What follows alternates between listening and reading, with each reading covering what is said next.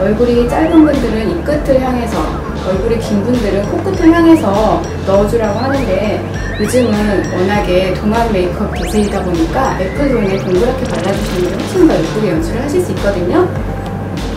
우리 모델분 같은 경우는 조금 까무잡잡한 편이라서 터치 연출하실 때 되게 애로사항이 많은데요.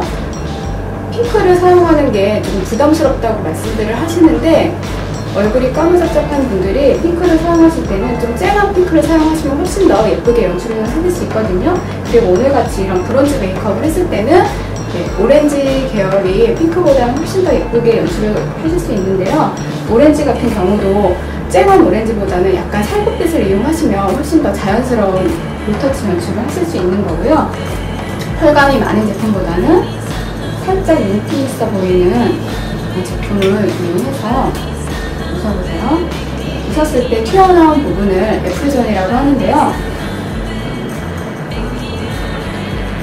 살짝 동그랗게 연출을 해주시면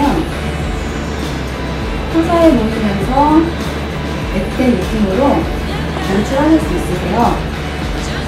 우리나라 사람들이 얼굴이 노란 피부가 많다 보니까 너무 오렌지 계열보다는 살구빛을 이용하시는 게 훨씬 더 자연스럽게 운영을 하실 수 있습니다.